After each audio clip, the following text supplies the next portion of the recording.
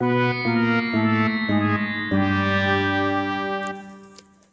الله الرحمن الرحيم. الحمد لله رب العالمين والصلاة والسلام على أشرف الخلق والمرسلين سيدنا محمد بن عبد الله وعلى آله وصحبه ومن تبعه بإحسان إلى يوم الدين.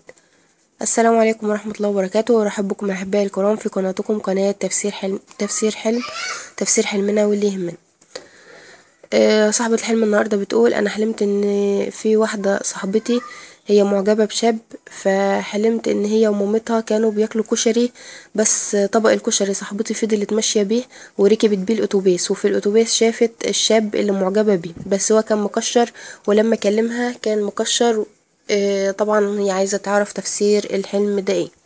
أقول بالله التوفيق في تفسير هذا الحلم آه، أن هذه ال- الأخت متعلقة آه، بشيء ما ولكن لا تريد الاستغناء عنه وفي نفس الوقت لا تريده. آه، وطبعا آه، الشخص اللي هي معجبة بيه وقابلها مكشر فهو آه، في واقع في محنة ويريد أن يسانده أو يساعده أحد ما في هذه المحنة. هذا هو تفسير الحلم والله تعالى أعلى وأعلم. أذكركم أحبائي الكرام متابعة قناتكم قناة تفسير حلم تفسير حلمنا واللي يهمنا وترك أحلامكم في التعليقات. إن شاء الله سوف يتم الرد في الفيديوهات القادمة بإذن الله تعالى. وطبعا ما تنسوش تتابعوني على آه، تفسير حلم الخاص بالفيسبوك. آه، ال link بتاعه في صندوق الوصف والإنستجرام طبعا ال link بتاعه في صندوق الوصف. ألقاكم على خير مع تفسير آخر وحلم آخر والسلام عليكم ورحمة الله وبركاته.